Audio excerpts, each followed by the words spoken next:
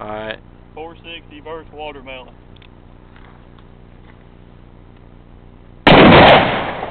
Golly. you get it? Yeah.